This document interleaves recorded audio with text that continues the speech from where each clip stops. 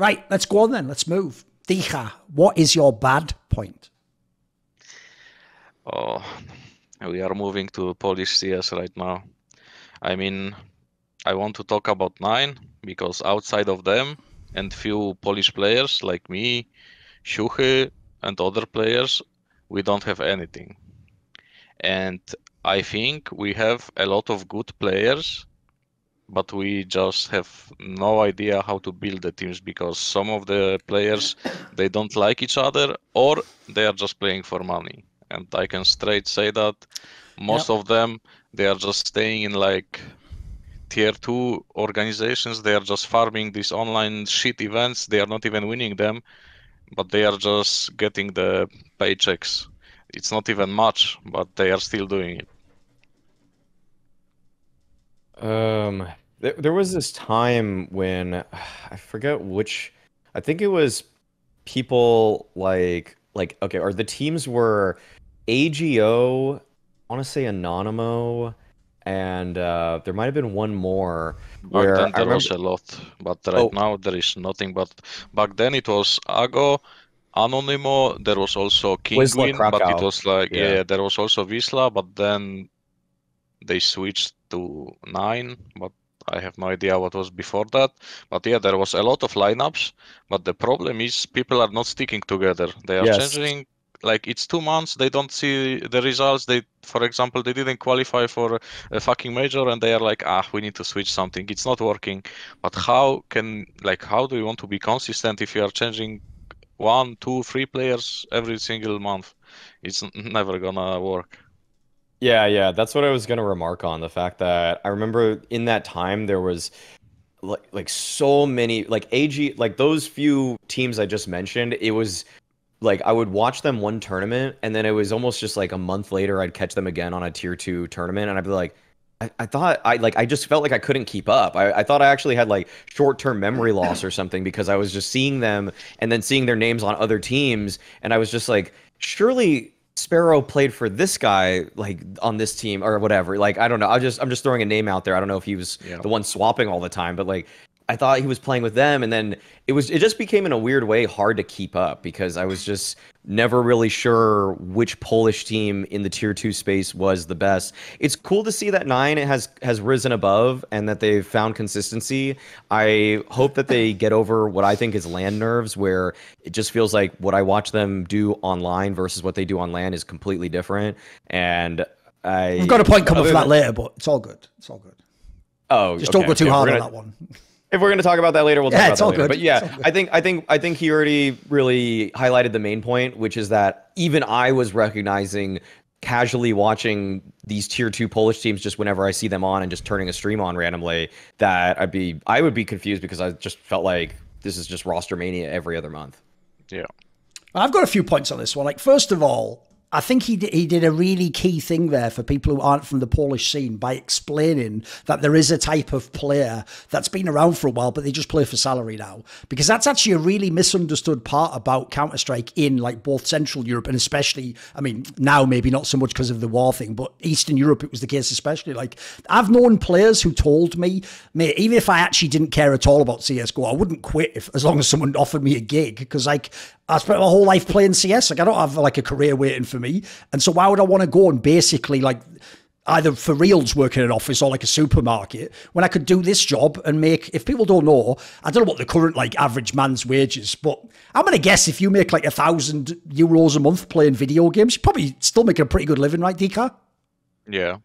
It yeah. be, yeah, it's going to be way better than like the average 22 year old guy who has, you know, no big school qualifications and no career. That's actually a good job to have. But the problem is, though, if you just play it like it is your job, I know when you say that, it sounds like it'd be great, like, oh, it's going to be really professional. No, but you, what makes people great at games is the passion, is to, is to play to have a dream and to, and to grind in a certain way and to look at the example of someone and imagine. It's not to go like, right, oh, um, oh it's 9 a.m., right, uh, start the scrims, yeah, playing them, oh, I got 10 kills Yeah, whatever. Got 15. Oh, nice one. Got 20. Yeah. Oh, 25. All right. Clock off for the day. 5 p.m. See you guys. See you tomorrow. Like that can't. That you're never going to be a good team doing that. Like that's that's too cynical. So unfortunately, there are actually even some good names and some veteran names who do play like that. Unfortunately, and some of them might tell you like, oh, if I got the chance to a big team, you know, I'd try. It's like you're not going to get it though, mate, because you've been around too many years now, and people know you're cynically playing like this as just a mercenary for hire. So unfortunately, that's not the sort of person that someone buys into. You want to, even if you're a team, you're buying into a dream of, you know, this player could transform our squad and become even better than they are.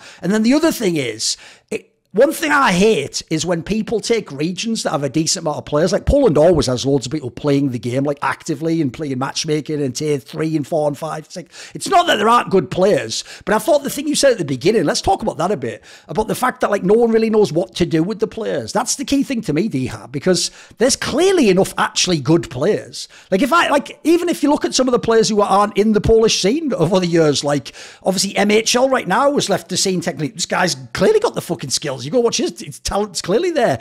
If everyone remembers Miku, who was in all those teams the last few years, there's a reason why he kept getting picked up in international squads. He's a good player. You think obviously of Dycha himself, who plays in the squad right now in ENCE. You have other play. Eh, I mean, some of them are in the Polish team, but there's clearly talent there. Rallen was over in into the breach. Like there's there's veterans, there's younger players, there's all types of players. The one thing I do notice though that is missing, that's what I want to ask you is this a lot of good teams are built by the IGL, and that is the one thing I feel like is missing. Right? Is there actually are there actually good Polish IGLs?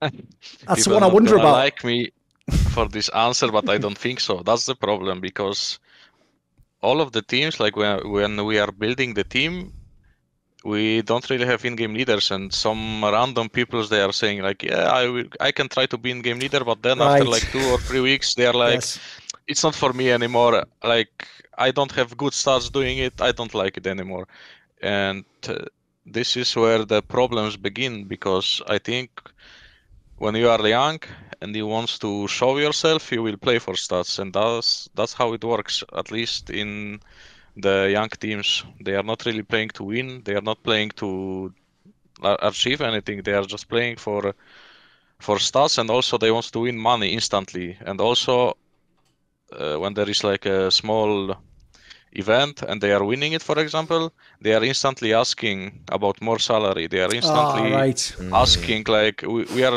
looking for org for example. They are pracking for two weeks. This is just the example. I don't yeah, mean anyone. No no. But people people are just pracking for two or like three weeks and they are instantly writing on twitter we are looking for organization. If someone is uh, blah blah blah you can contact us. I'm like why are you looking for org if you are playing for two weeks together like you don't even know each other. You will probably leave this mix in about fucking two weeks. Like people like don't know what to do. Yes. They are instantly looking for money. They are instantly looking to to just be saved, to to to, to just have a salary and then maybe we will do something more. But the first thing which is coming to mind for all of these teams, from my POV, is that they want to be safe, they want to have money, and then let's see what we will do. Exactly. Oh, and two other things to say. One, I could, you know, have thrown in the name Mantuu there, but he's the one who put that UK flag on, mate. When he put the UK flag on, we're claiming him. We we we haven't got enough good players right now. We listen. You can have Smooya if you want. You can if you can get his papers, we'll trade you Mantuu for Smooya or whatever.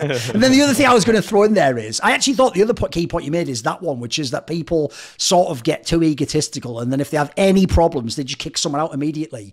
The reason why that's a killer to me is because people never understood this. The incredible thing about the legendary Virtus Pro lineup wasn't that like a lot of fans never got this dude. They really thought, oh, they don't change players because there's just no good players there.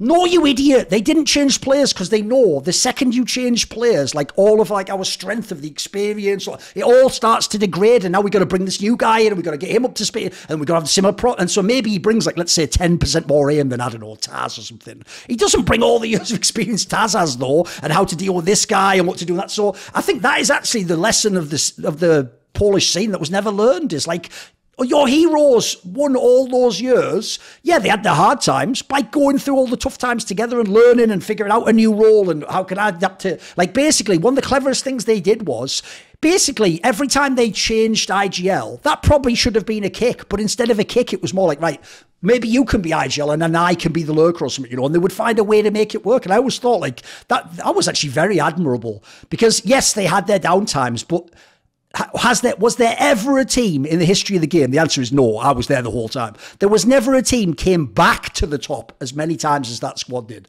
That five man lineup for real went all the way down and then came all the way back. I'm going to say like five times in like seven years. It was crazy. Like that's the lesson if you're a young player like that. It's like who cares about that you lost this one LAN tomorrow? If you stick together, maybe in three months you're like twice as good as a squad, and now you actually get the org that Dycha's talking about, and now you suddenly people see the value of your play players because by sticking together, you like enhance each other's ability to play and you figure out how to make the best out of his play and he figures out the best way to help you play. And all of a sudden, you all look twice as good as you maybe are. Whereas if you just play this way, where every two LANs you swap a player, now it's almost like when people really do believe, like HLTV stats tell you how good a player is. It's like, what team is he? Like, has he even been in the team long? Is he playing his spots? Is he on the right maps? Like, there's so many variables in Counter Strike. To me, the first thing you've always got to do is build like a team core identity. That's why we even use that term core. Core shouldn't just be the three players that used to be there. It's who makes up the squad. Like, what is the identity of this team? Like in the in the ENCE squad, for example,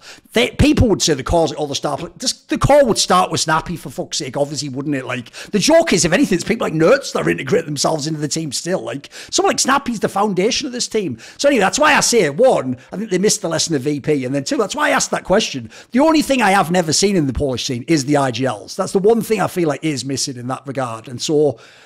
It's actually sad because I do think there are, like, especially for riflers, mate, there are so many good riflers that have come out of the Polish scene over the years. People, if you just watch the POV on like AGO and all those, these guys were really good, mate. It's no wonder when you put them in those WESG tournaments and it was like essentially just like fucking who cares? Like no one gave a shit the amount of times Polish teams have gone deep in that is bonkers, mate. Loads of them have got the money. Loads of them have got the bag. Right. Yeah, but also I think the next thing we are missing, we are missing coaches. Like we don't have okay. any. We might have few good ones, which know what to do, but we don't have that much people which can trust them. Like okay, players players are not open enough to go out of the comfort zone to work with them to just like accept what they need to do for the team. Trust me, I was like this in the Polish team.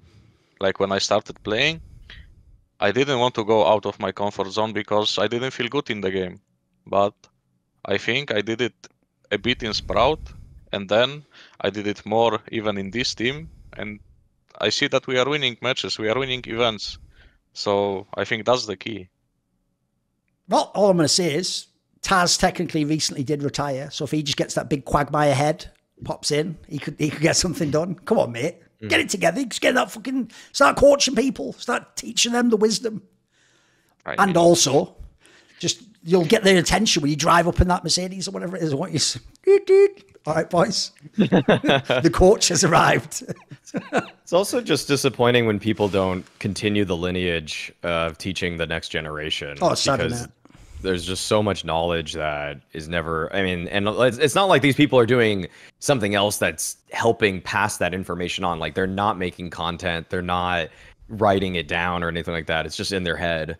So yeah coaching those like the natural fit. See more cool funny interesting clips based on topics from my content? Well subscribe to this channel then or you know be a pleb and don't